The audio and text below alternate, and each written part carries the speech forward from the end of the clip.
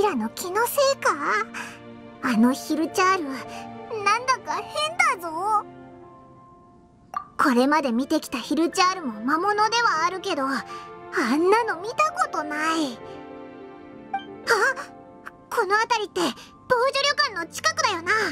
お客さんに被害が出たら大変だ。見た以上放っておくこともできないし退治しよう。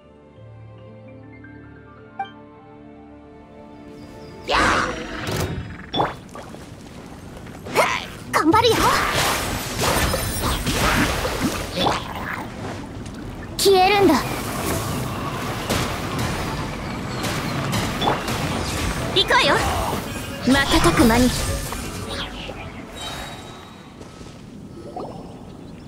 この邪気まみれのやつら普通のヒルチャールより厄介だぞおいあっ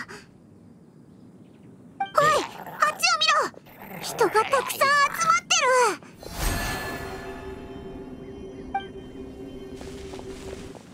ああの仮面のやつ見たか？あいつの周りにいたヒルチャール怯えて逃げてったぞ。ショーと同じ仙人ってことか？言われてみればショーも同じような仮面をかぶってたことがあるな。さっきのあいつのやり方なんだかショーよりも仙人っぽかったぞ。話を聞いてみようぜ。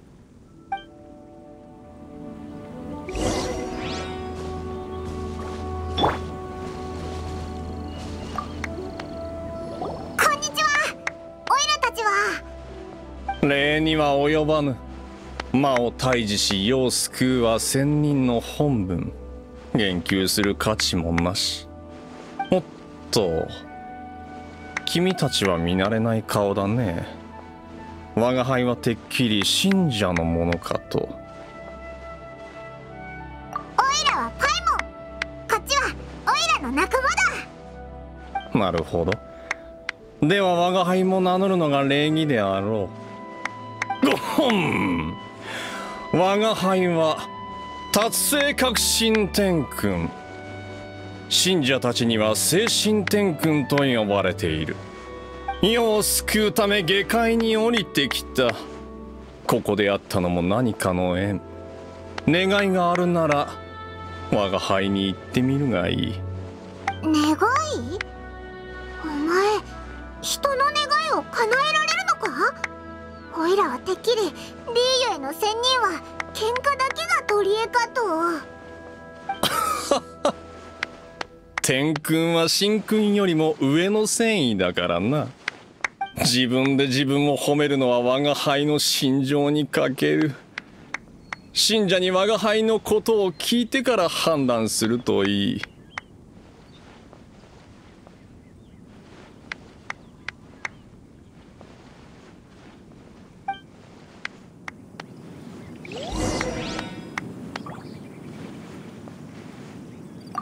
精神天君様を見たか。本当に神々しい。これで父上の病もきっと。あんなものを見せられて疑う奴はいない。あれは正真正銘の仙人だ。以前寝たきりの父上のために薬を頂戴したことがあってな。不袋のものとはまるで違った。薬から漂う淡い霧が何より戦術っぽかったね。無評花がついてたってのもあるかもしれないがとにかく仙人の薬はすごいんだ。父上の病もきっと治る。父上の命と比べたら精神天君様に捧げた骨董品なんて安いものだろな。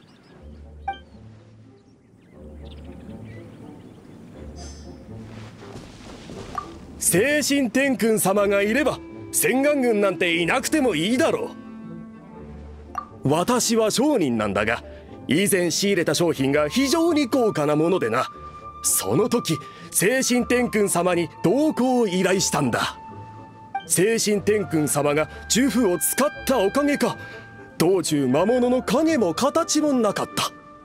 依頼費は確かに高かったがゲーセンも簡単なことではない。お前たち他国の人からしたら理解しがたいものかもしれないが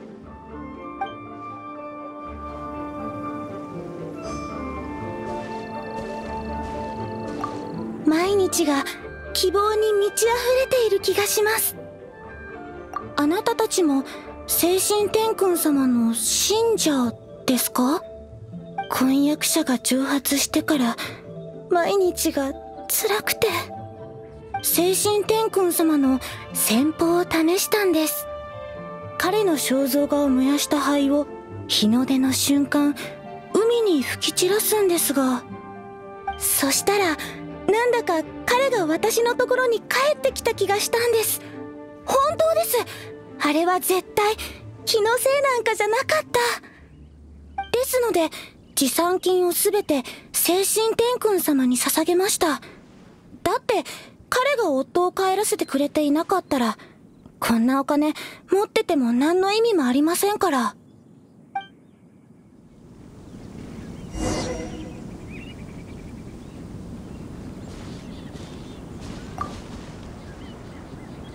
どうだった？信者だから多少誇張してたとは思うんが全て本当のことだ。君も冗談が好きだな。昔偉大な仙人がいてな。漁師と呼ばれていた彼の言葉にこんなものがある。万物は全てにおいてつながっており心理効果とはコンパクト結末を結ぶ因縁。つまり彼らの願いはすでに実現に向けて順調に進んでいる。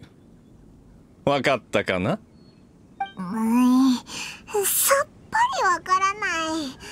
簡単に言うとあいつらの願いは叶ったってことか？そういうこと。賢いな君はそういえばもう一つ疑問が。なんだい？言ってごらん。我が輩は世を渡り善行で世を救う面倒事が起きないよう正体を隠しているのさ。なるほどなるほど。では二人の願いを聞こうか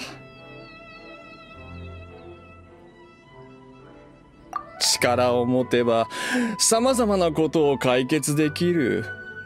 しかし我が輩が気になるのはなぜ神にこだわるかだ。いいだろう。その願い叶えられなくもない。ただ少し。少し。なんだ？先導は五世に従う。もし我が輩の意図がわからないのなら願いを叶えることはできないどうしよう。何言ってるかさっぱりわからない。なるほど。仙人に助けてもらうにはそれなりの対価が必要だってさっきの信者たちも言ってたな。でもオイラたちあまりお金になるものは持ってないぞ。お前は神の目すらないし。ははオイラたちで美味しいものるのはどうだ？美食の誘惑に勝てる人はいないだろう？そうだ！美味しいものを作ろう！これなら絶対にいけるぜ！ひひひじゃあ早速万文集社に行って何か最新の流行レシピを探そうぜ！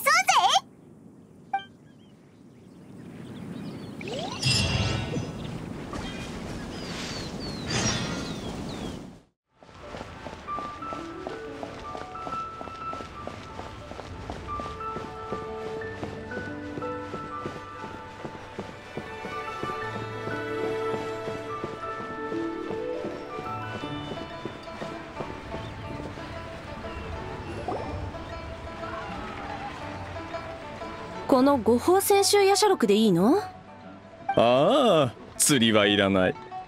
あら太っ腹。感謝するわ。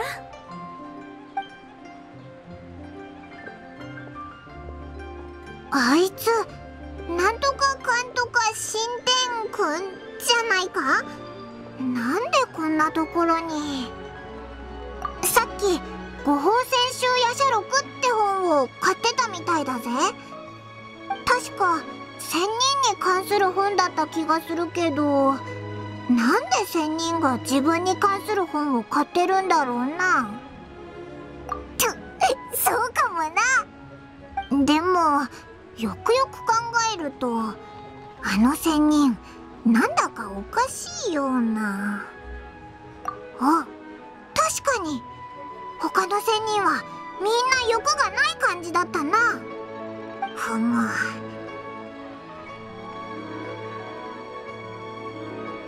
どうやらあの本の内容を確認する必要があるな。何か手がかりになるかもしれない。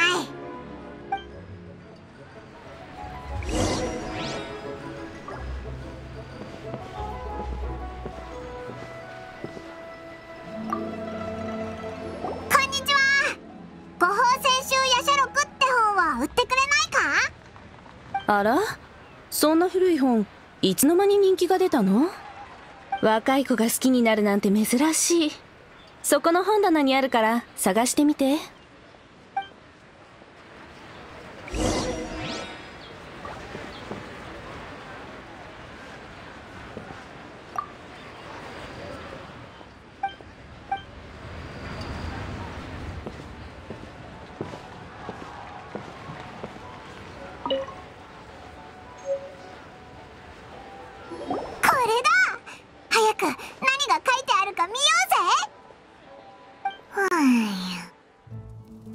太古の昔リーユエは正気に満ち魔にあふれていた。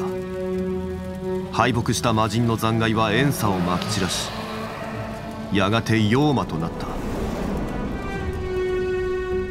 妖魔は疫病怪異そして変異を次々と起こした。やがて元王帝君は仙人の夜叉を召集し魔を滅することにした。彼らは誤報のため殺生し悪を滅することを元王に誓った。しかし長い決戦の中極小にとらわれ魔人の憎悪に染まってしまう。恐怖に支配され発狂する者。同士討ちで死に至る者。精神が壊れ魔物となる者。最も強かった5人の先週夜叉のうち3人が悲惨な死を遂げ1人が行方不明となった。幾千年の時を超え生き残ったのは高馬大聖ただ一人。そして彼の姿を覚えているのは幸運閣に照らされる月明かりと敵歌集の笛吹きだけとなった。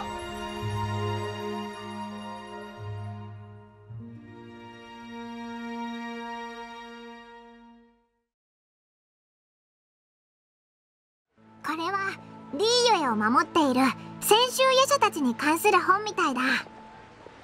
なんだかリーユエにある歴史書じゃあまり見ない内容だな。何か気になるところはあったか？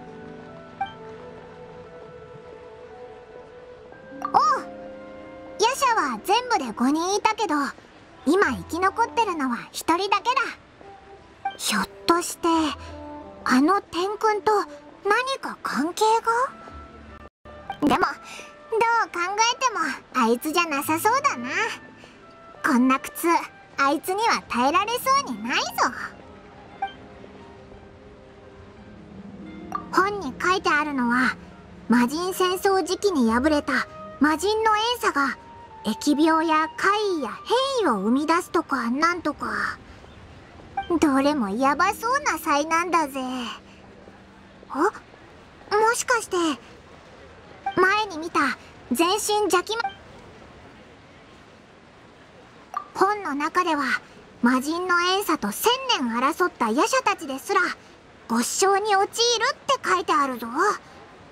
魔人の怨嗟に汚染された夜叉が考えもつかないような恐怖憤怒苦痛に苦しめられる。うーリーユエを千年も守って見返りがない上にこんな苦痛を味わうなんてかわいそすぎるぞ。